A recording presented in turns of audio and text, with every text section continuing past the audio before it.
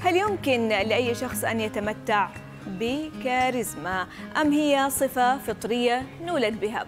كتب ودراسات تتفق أن الكاريزما عبارة عن مجموعة من المهارات مهارات. ويمكن لأي شخص أن يتقنها بعد التدريب عموما كلمة السر في لغة الجسد والتواصل الجيد مع الآخرين أكيد يعني موضوع الكاريزما يمكن سألتك فيه في البداية حنين إنه هل هي فطرة؟ في ناس تحس إنه دخلتهم وحياتهم كده وإقبالهم عليك عندهم كاريزما؟ وفي ناس مهما سووا ما بيحصلوا على من جهة هي قبول ولكن بالفعل يعني ممكن تنتبهي بكل تجارب الحياة إنه في مهارات بكثير مجال- مجالات ال- الشخص بيطورها وبيحصل من خلالها على كاريزما وعلى جاذبية معينة مزبوط. تعطيه هذه الجاذبية. ولكن في ناس محظوظين بالطبع أكيد بيولدوا فيها بتكون عندهم آه، تلقائية. مزبوط وحتى اللي يكون عنده أعتقد إنه لازم يشتغل عليها برضو ويعمل عليها ويشوف إيش ال- الكاريزما المناسبة وإيش الطلة المناسبة لي أو الشخصية اللي تكون آه، ظاهر فيها خصوصا بما يتناسب مع عمله يعني. خاصة إذا ما كنا عم نتحدث عن أشخاص في الفن أشخاص في السياسة أش- أشخاص بيظهروا للعامة وبيتحدثوا معهم أكيد لا تكفي فقط أنه يكونوا محظوظين فيها مثل ما قلتي لازم بالتأكيد يطوروها. عموما سألنا الناس في مصر من أكثر شخصية تتمتع بالكاريزما والشخصية القوية من وجهة نظرك؟ نتابع.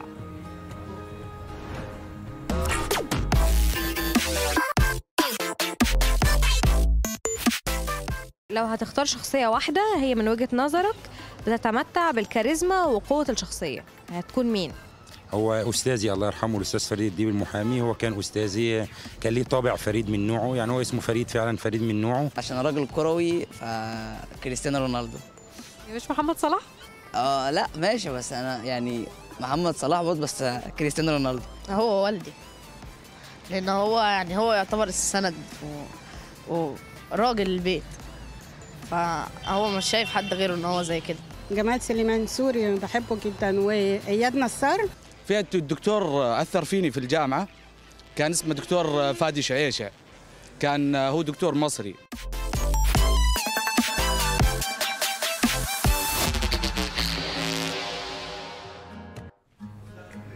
أكيد نحتاج تفاصيل أكثر في هذا الموضوع ورح نتكلم. من الأشخاص اللي عندهم كاريزما ومن ي- لازم إنهم يعملوا عليها. من أصحاب اختصاص. بالضبط بالضبط. من الكويت الدكتورة في علم النفس الاجتماعي والمستشارة في تطوير الأداء. الأستاذة ليلى شحرور هلا وسهلا بك وصباحك سعيد. أهلا وسهلا أهلا وسهلا فيكم. صباح النور. هلا صباح الخير. يعني إحنا نعرف إنه الكاريزما بتتكون من ثلاثة عناصر القوة الحضور ال- المودة. طيب هل هذه كلها لازم تكون موجودة فيا ولا لازم أعرف نفسي إذا كنت أنا أمتلك هذه الأشياء ويجب أن أعمل عليها؟ طب هل هي فطرة, أم هي حاجات أقدر أشتغل عليها؟ آه، أكيد هي مش فطرية لأنه طبعا الأبحاث بتشير إلى انه هي مش موجودة بالدي ان اي وبما أنها مش موجودة بالدي إن اي فهي منا فطرية. هي ممكن يعني في أشخاص بيولدوا عندهم صفات معينة لأنه بيكونوا متوارثين عبر الأجيال من أهلهم أو من أجدادهم إلى آخره. آه، لكن as كاريزما إذا عم نحكي عن هالحضور المميز فينا نقول إنه لا هي بتكتسب عبر المهارات اللي بناخذها وال experiences أو التجارب يلي بنعيشها وإذا كانت آه، دكتورة هي يعني مكتسبة آه، على ماذا تعتمد؟ يعني شو أساسيات آه، ال- الأدوات الأساسية لتطوير الكاريزما وصقلها آه، عند كل شخص؟ أول أول شغلة وأهم شغلة هي البادي لانجوج أو لغة الجسد آه، يلي هي أصلا تعبر عن 93% من فهم الرسالة وبعث الرسالة للآخرين. نعم. آه، لذلك بتكون أهم شيء إنه نكون نحن نتمتع آه، بلغة جسد كثير إيجابية أو إلى نمتنع عن محظورات معينة فيها. آه، ونقدر نقوي شخصيتنا من خلال معالجتنا من لغة الجسد. حلو. يعني بنعالج نفسنا نعم. بلغة الجسد نعم طيب نعم. إحنا إحنا عندنا يعني آه، اختبار لبعض الصور لمشاهير في العالم وحابين إننا نشارك يمكن أنا وحنين وحضرتك ونشوف إيش الفرق بين هل هذا الشخص عنده كاريزما ولا لا. عندنا هنا آه، جو بايدن ودونالد ترامب من آه، برأيك هي منافسة ربما محسومة بين آه، الرئيس السابق والرئيس الحالي الأمريكي ولكن بكل الأحوال بعتقد ريم أنه إحنا ما عم نحكي عن الكاريزما بالمفهوم اللي يقاس أو تقاس فيه الكاريزما في الولايات المتحدة. ما عم نحكي عن الرئيس جون إف كينيدي ولا ريتشارد نيكسون. نحكي عن شعبية ربما أكثر. ترامب اكتسبها أكيد من مجال الإعلام كونه كمان businessman ولكن بالإضافة لكل هذا آه، شعبية ترامب بالاقتراب من الناس من خلال ال- الكلمات اللي بيقدمها وخطاباته. كمان بتلعب دور بشعبيته نعم. والظهور آه، الإعلامي وحبه أصلا هو للظهور الإعلامي وأيوة. أيوة. يكون قريب من الناس ويتكلم بلغة قريبة منهم ف- اللغة الشعبوية ب- بالضبط يعني أنا أحس إنه تسريحة شعره المميزة جعلت عنده كاريزما قوية أيضا طيب عندنا كمان صور أخرى. آه، برضو لمشاهير آخرين بوتين وزيلينسكي. إيش رأيك يا حنين؟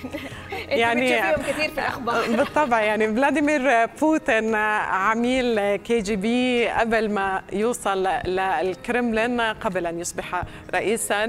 فلاديمير زيلينسكي ممكن اكتسبها من التمثيل ولكن هو كان ممثل أفلام كمان كوميدية بجانب كبير منها. بعتقد إنه فلاديمير بوتين عنده إياها إلى جانب بالطبع خبرته وكيف تدرج بروسيا ولكن كمان الغموض والحزم بيلعبوا دور كتير كبير في الكاريزما نعم. ما أدري يا دكتورة إذا كان ملامح الوجه أيضا تؤثر في كاريزما الشخص يعني هل أصحاب الملامح الحادة أو أصحاب في ملامح معينة بتكون في ال- الوجه هي اللي بتعطي كاريزما أقوى؟ أكيد. آه، طبعا آه، مثل ما قلنا لغة الجسد والحضور يعني حضرتكم ملمين جدا بالموضوع ما شاء الله عندكم. آه، أكيد الوجه مثلا في عندك وجوه معينة هي بتعطي بحد ذاتها بتفرجي سلطة. يعني بتخلي الشخص الآخر يشعر إنه هذا الشخص عنده سلطة معينة أو. عنده كاريزما معينة بتعتمد على بعض التريتس أو بعض الصفات الموجودة بالوجه هي الميزات الموجودة بالوجه مثل الفك العريض مثل الوجه العريض مثل تقسيمة الوجه. آه، هول كلهم بيلعبوا دور أكيد وهي أصلا بتلعب دور شخصية. يعني أنت بالأساس وقت بتشوفي عندك شكل معين أنت تصرفاتك بتتغير. يعني أنت عندك تصرفات معينة على أساس شكلك بتصير كمان آه، آه، تنضج هالصفات آه، وتصير أكثر وأكثر موجودة عندك. مظبوط مظبوط آه، كمان نعم. عندنا صورة أخرى لأشهر لاعبي لاعبين. كرة ال- القدم في العالم رونالدو وميسي الجدل دائما الكبير. مين أفضل رونالدو ولا ميسي؟ ولكن إحنا ما بنتكلم على هذا الجدل نتكلم على الكاريزما والقبول عند الناس. إيش رأيك حنين؟ نسأل عن رأيك. ريم. أنا ما أعرف. أنا أحس إنه كملامح آه، أحس كريستيانو ما أدري يمتلك كذا ملامح تشد الواحد يعني ما أعرف.